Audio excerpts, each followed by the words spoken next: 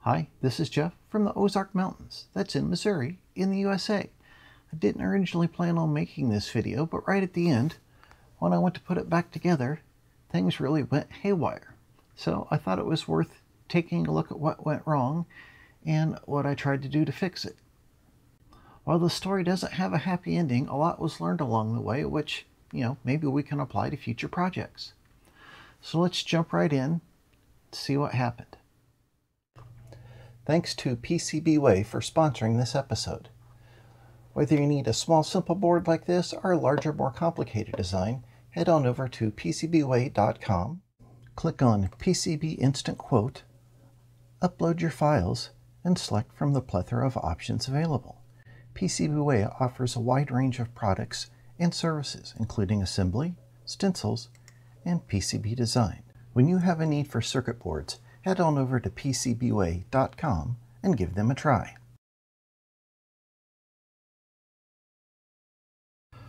I found a good deal on a couple of CE150s. Well, one Sharp CE150 and one of the Radio Shack equivalents, which was the 26-3605. The Sharp labeled unit was in rough shape though. The fumes from the corroding NiCad battery pack even seeped through the joint in the case and attacked the paint so I took it apart to see if it could be salvaged and found a lot of corrosion from the NiCad battery pack leaking. The RF shield was badly corroded on the side opposite the PCB, and on the PCB side, which was covered with a sheet of plastic, it was a little more protected. The paint on the underside of the stainless steel docking plate was bubbling up, and the leads on a large number of components were turning black. The section of the PCB where the battery leads connected had the most damage. There was a good deal of copper trace corrosion, but minimal component damage. I mixed up a new concoction to remove the corrosion from the PCB. It did a good job, but it'll be the subject of another video as I'm still running tests on the process.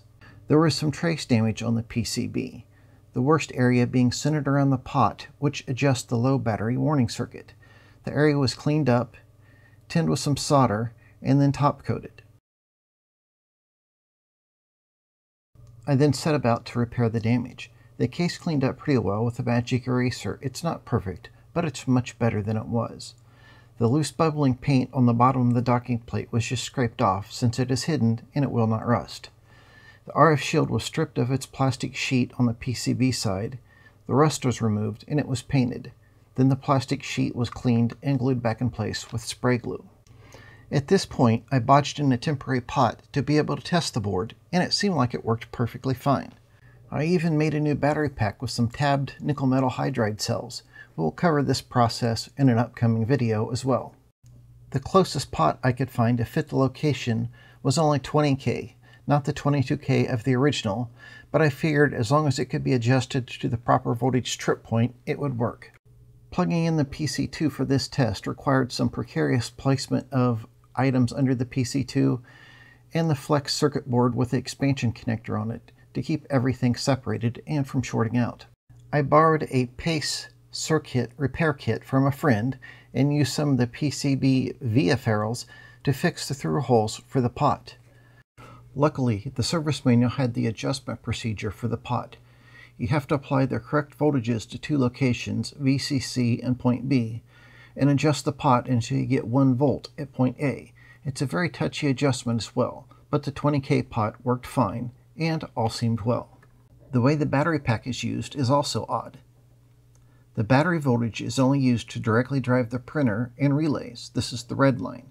It's also fed through a diode up to the computer as VBAT. This is the yellow line. The power supply in the computer regulates this down to about 4 volts, called VCC, which is fed back out to the CE150 to power the circuitry therein. I then set about to reassemble the unit, and as it had been apart for more than a month, it took a while to remember where everything went. I did get it put back together after a few tries, and I tried to save something to the cassette without a tape deck hooked up, and then all seemed to go fine. Then it quit working. Not only did it not work, but it locked up the PC too, which had to be hard reset to get it to work again. I was really confused. To me, it seemed like there was an issue with the CE150 powering the PC2. Here we've got the circuit board out of the PC2's cassette interface, which looks like this. Put this rag in here so we don't short anything out. And this flex circuit board connects up into the case kind of like so. And the computer plugs in like this. Right now I've just got it on the DC wall wart. The battery pack would normally be connected down here. It is not connected and I want to show you that the computer itself does work fine. This is a little precarious hooking it up like this. But we'll go like this. And I'll set this end on this roll of tape. I think I've replicated the fault and I'm going to turn it on and it may not do anything. It may make a strange beeping sound. We may get garbage on the screen. The symptoms vary somewhat. And each time you try it, the results are a little different. Sometimes you'll get strange errors. Sometimes it'll beep. Sometimes you get corruption across the screen. But always, it does not work. I was then worried about this edge of the Flex PCB starting to peel up and thought it might be providing an intermittent connection. Sometimes when I pressed on this connection just right, it seemed to work briefly. I ohmed out all the connections from the expansion connector to the PCB and all seemed okay. Knowing that the Flex PCB seemed okay, I was really confused as to what was happening, especially considering that it seemed to work at times if I pressed on that side of the PCB. I began to inspect the entire PCB with a lighted magnifier and ohmed out a few suspect traces, which turned out to be okay. Looking closely at the stepper driver chip in the lower left-hand corner, I noticed one of the wires going to the printer. It had a few loose strands that was touching another wire. I separated the wires, and it worked. Well, sort of. It worked several times. Sometimes it would throw up an error, and then it started locking up the computer again. So the shorted stepper motor wire was not the only issue. Now you might be thinking, hey Birt, how would that cause a problem on the PC2 itself and lock it up? Well, that's a darn good question, and one I was asking myself. It all comes down to the boot up procedure of the CE150 and how the CE150 powers the PC2, and how in turn the PC2 powers the CE150. When the PC2 is docked, the CE150 sends VBAT to the PC2, and the PC2 returns a regulated VCC, which is about 4 volts, to the CE150. In this mode, the PC2 is powered by the CE150, not the internal AA batteries. The only thing the battery pack and the CE150 powers is the stepper motors and the two relay coils. When the PC2 is docked to the CE150 and you turn it on, the first thing it'll try to do is initialize the printer. Basically, the stepper motor wires shorting created a short circuit on the PC2's power supply, which caused a problem, but this was not the only problem. Knowing that the frayed wire was no longer causing a problem, I began to focus on the Flex PCB connection again. I noticed that if I pressed on the PCB just above the stepper driver chip, it would work. The Flex PCB is connected to the rigid PCB with some conductive glue. I have heard that reheating this with a soldering iron might reactivate and seal the glue, but this didn't work, maybe due to the battery corrosion. In the TRS-80 PC2 manual, there was a page talking about detaching and reattaching the keyboard flex PCB. Having nothing to lose at this point, I gave it a go on the CE150 board, and well, it was a disaster. I tried to peel it up from the side, which did not work out well. I switched to using a plastic spudger tool inserted from the inside, and this worked well, but much damage had already been done. The only choice I had now was to try and glue the lifted pads back down and reattach the flex. So what I'll do is put some epoxy under these lifted pads. Slide this piece of plastic over to flatten them out, try to get them all straight. Slide it down here to the edge, carefully holding it down and then put some Kapton tape over the back here. That is the theory. And of course, I'm not going to do this on camera because I don't think I could do that. But I'll give this a shot and I'll show you the taped results and then we will look at it tomorrow evening after it's had a chance to cure. I mixed up some of this Circuit Works epoxy. This is designed to be an overcoat in place of the uh, solder mask. But it is a high temperature epoxy and it works pretty good for gluing traces back down too. And it's not that expensive. Take a little plastic pokey tool and put some epoxy back under all of those loose pieces of trace. I smeared it flat with that piece of plastic you saw earlier. And I put a, holding the plastic here, put a piece of tape, Kapton tape down here, which just kind of held them in place basically. And then I took some smaller pieces of tape this way, that is Kapton tape. And before I wrapped it all the way around the board, I took a little screwdriver and kind of pushed the ends of the traces around to line everything up. And it actually lined up a lot better than I thought it might. Here is the result of our first repair attempt at gluing that down. See there's just a few of the tips that didn't glue down properly and all the excess epoxy cleaned off there fairly easy. So I am going to put a new pad in for this guy connect it with some solder here and then I'll mix up some more epoxy to glue this pad down and then we'll get the ends of these others. And there's a few here on the tip that also weren't there you can see that a little better those four right there weren't glued down really well so we'll try all those again and well I still don't know if it'll work but it's made a big improvement so far so we'll give it another whack here is where we are at after our second round of gluing. Now to peel this stuff off, what I try to do is get one corner of the tape and peel slowly like that.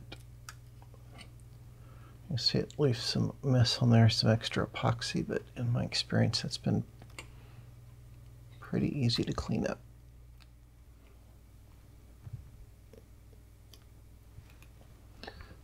This board is thick enough. And you can see right here is where I joined this replacement pad, which is a little wider, so I might have to trim it a little bit, but it's stuck on there good. As you can see, it's really close at this point. So I will have to do some cleanup right there with the knife, probably with a new blade in it. To clean up these traces, I'll very carefully scrape them toward the edge like so, just to get the worst of the epoxy off of there. This is much easier to do under the lighted magnifier. Follow up with the fiberglass brush like this. And we'll do that for all the traces so they are nice and shiny and then we'll tin them up like we did these here.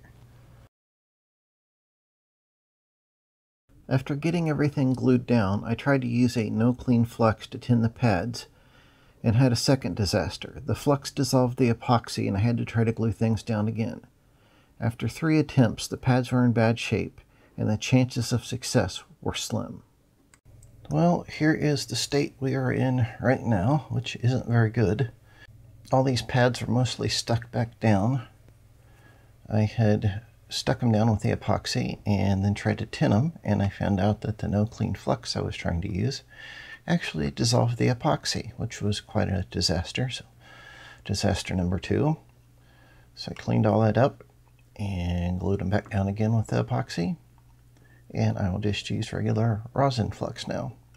But I've got the flex all stuck down and tinned.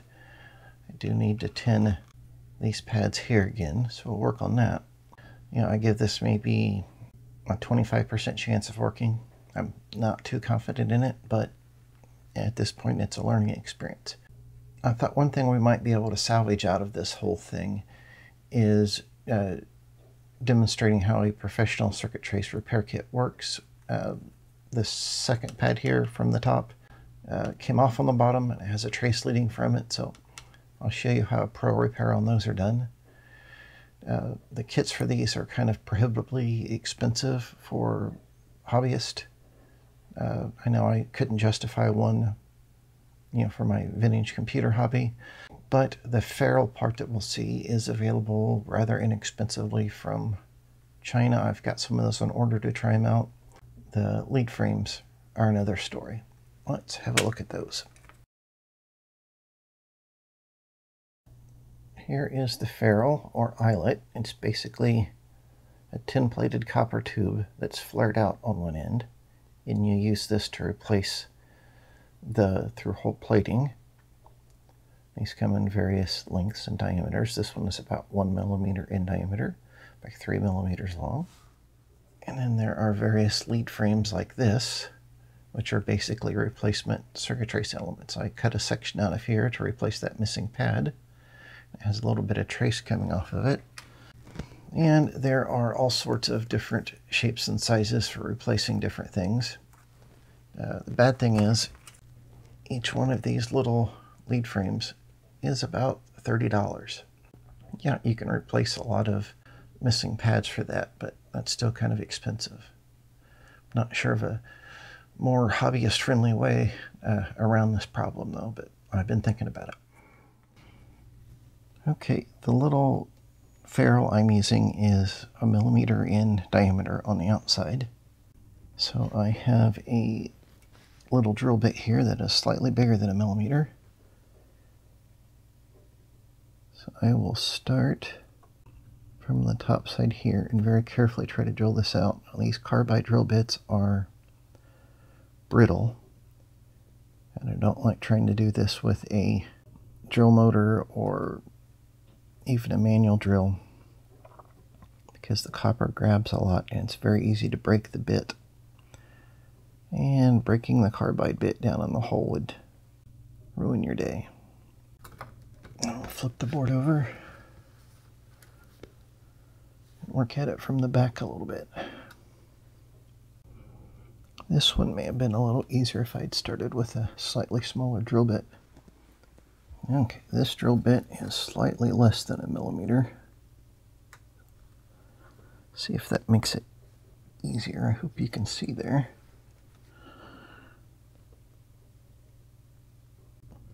Yeah, that's cleaning out the hole much easier. Okay. Now we'll go with the one that's slightly over one millimeter. Okay, now we've got that cleaned out, and if we try the ferrule,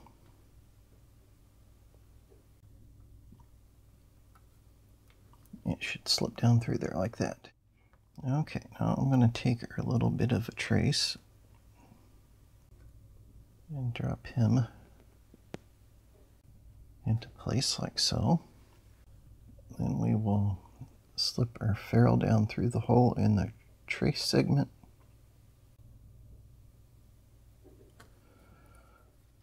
You can see what we've got going on right here. I make a set of tools for this, which I do not use entirely correctly. But I just use them the way that I found works best for me.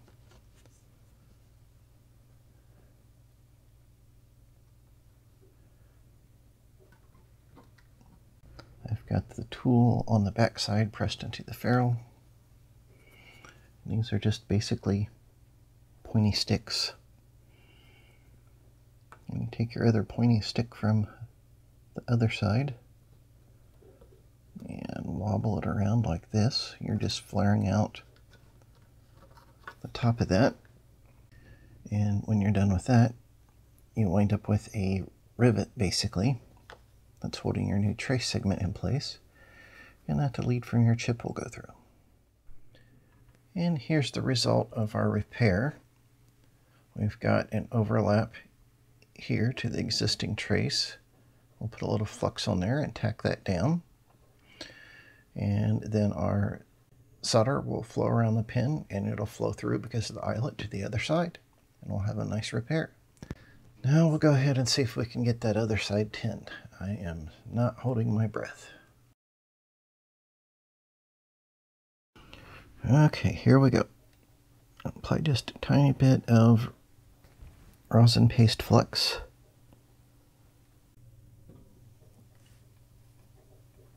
Just trying to leave a little on each pad. I have a little bit of a loose pad right here. But it seemed to tin up okay. Okay, that's tinned up. It really looks like crap. But we'll see what happens. First thing I want to do though is put a little Kapton tape across here to cover where I patched in this new pad. Okay, I've got some Kapton tape along here. This will help protect the tips of this from contacting any of these vias and it protects that little dude right there. And what I'm going to do is line this up about halfway back because I need room to place the soldering iron. And I will tape this to this and we'll give a shot at soldering it. Let's see what happens. Okay, this is lined up as good as I can get it looking under the, the lighted magnifier like so. And what I will do now is press down on a pair of these pads lightly like this, touch the soldering iron to each pad that's sticking out and try to reflow those together. I've added some more flux on there and we'll see what happens. As I mentioned, I'm not holding my breath. This is just an experiment at this point. Okay, it's kind of stuck down there somewhat. I'm finding I need a way to push this whole thing more flat as I'm heating up a section. Okay, I've got this brush here, which is kind of flat on the end. So try pressing down like, oh, you can't see anything. Try pressing like this. And holding a whole section of the flex flat. I touch each pad.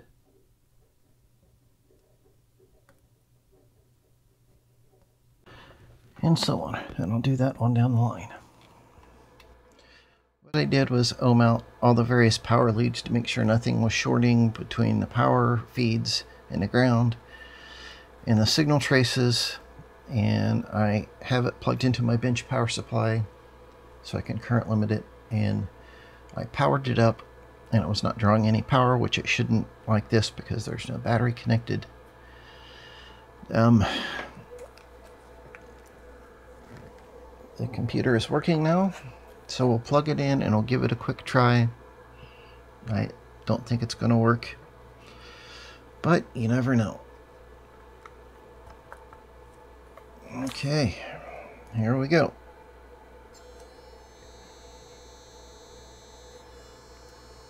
No. I don't know if you can hear that beep over the power supply fan.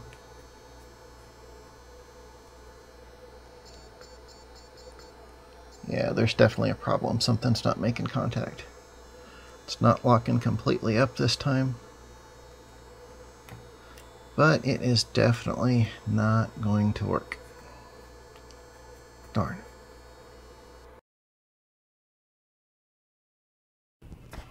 Well, this refurb really wound up being a disaster.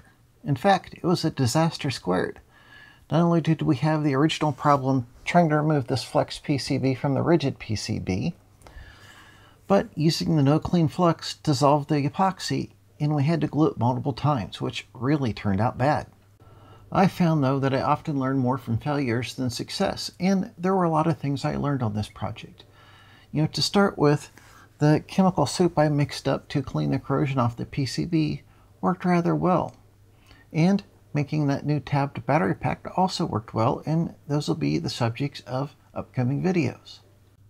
The type of epoxy I used to glue the pads back down has worked well for me in the past on things like surface mount capacitor pads, but I'm not sure if it's the best thing to use for large-scale repairs like this. Definitely using that no clean flux on it was a disaster.